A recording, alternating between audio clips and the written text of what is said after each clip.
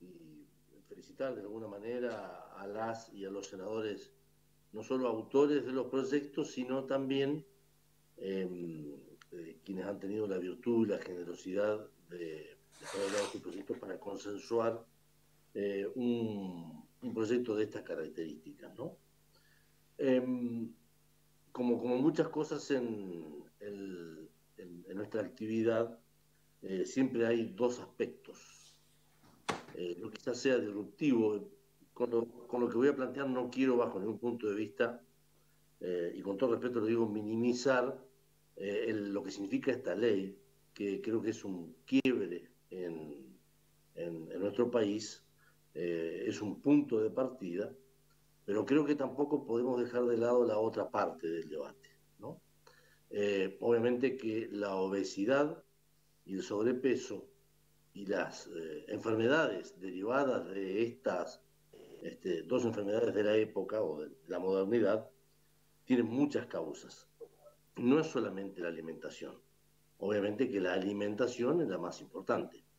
Pero por otro lado, tiene que ver con nuestros hábitos, tienen que ver con nuestros consumos, con nuestros usos y con lo que hacemos. Es decir, si consumimos calorías producto de la mala alimentación y por otro lado no discutimos, no avanzamos, no profundizamos en cómo nosotros como personas consumimos esas calorías, estaríamos discutiendo una parte del problema. Es decir, una parte del problema es evidentemente eh, eh, qué tipo de alimentos y bebidas consumimos, pero por otro lado es qué hacemos con nuestra vida. Creo que todos coincidimos que estamos viviendo la época de las pantallas. ¿No? La, historia fijará esta época como la época de las pantallas.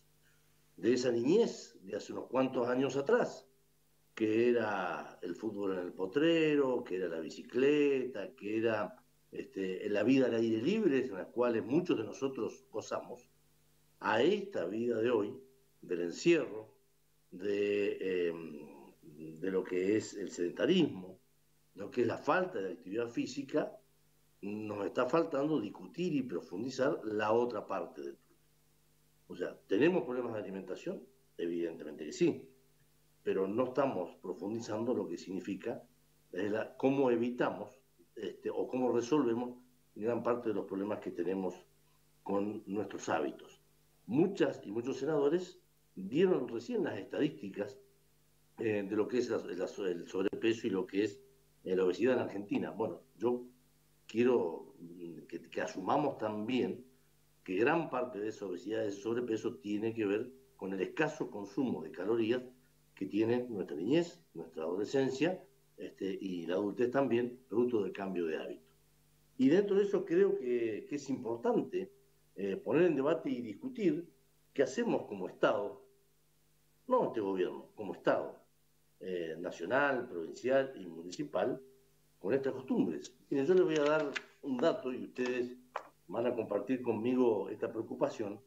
Eh, la semana que viene seguramente vamos a empezar a discutir cada uno y cada uno de nosotros el presupuesto de la Nación del año que viene.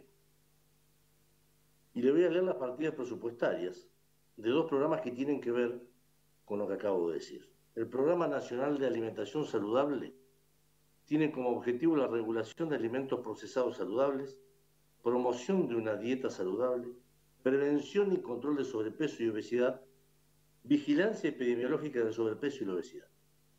Y el programa de lucha contra el sedentarismo cuyos propósitos son reducir la prevalencia de la actividad física en la población general, promoviendo la adopción de estilos de vida activos. Estos dos programas tienen un presupuesto para el año que viene de 5 millones de pesos. Es decir, nos está faltando eh, poner sobre, sobre la discusión, no solo aquí, sino como Estado, la otra parte de la cuestión. Podemos tener las mejores leyes que tienen que ver con eh, con que nuestra población sepa lo dañino que son ciertos productos, pero también tenemos que volver a discutir como nación eh, cuáles son este, las políticas de Estado que hacen a estas cosas. Por ejemplo, si nosotros miráramos en todas las, las, las, las currículas educativas de las provincias, sea del signo partidario que sea, o del propio Estado Nacional cuántas horas cátedras destina eh, el sistema educativo a la actividad física, nos vamos a dar cuenta que si comparamos 30 años de atrás o 40 años atrás con, esta, con nuestra época, cómo este, la actividad física en la edad escolar ha dejado de, del lugar para otro tipo de actividades. Y todos sabemos que lo que aprendemos de niños lo mantenemos toda la vida. Y si hoy, desde, desde nuestros propios planes educativos, este, desde el nivel inicial, el nivel primario o la escuela media, este, no valorizamos lo que significa la actividad física, mal vamos a poder después este, tener este, mujeres y hombres este, sanos desde, su aspecto físico. Eh, todos los programas que tienen que ver con la cuestión de saludable, el tabaquismo, la lucha del control del tabaquismo, la coordinación, prevención y control de enfermedades no transmisibles, la salud integral del adulto y las personas mayores, la promoción de conductas saludables, la prevención y el control de enfermedades respiratorias crónicas, todo esto tiene 86 millones de presupuesto para el año.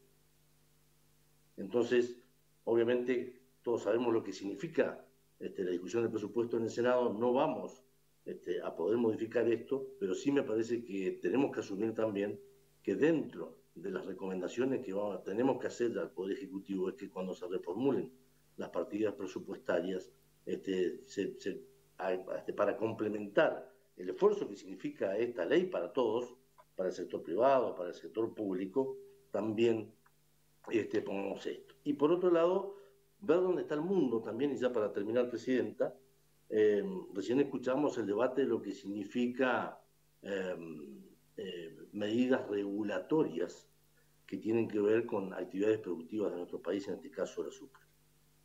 nosotros estamos discutiendo recién el etiquetado.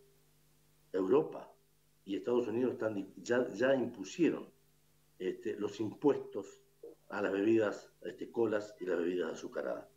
Este, por lo tanto, creo que esto es un primer debate de lo que el mundo o la, humanidad está haciendo hoy en beneficio de la salud de las actuales generaciones y de las futuras generaciones. Con lo cual, creo que es un debate que recién empieza, este, de lo más interesante y que tenemos mucho todavía para, para trabajar en el futuro. Gracias, señora presidenta. Gracias, señor senador. Tienen la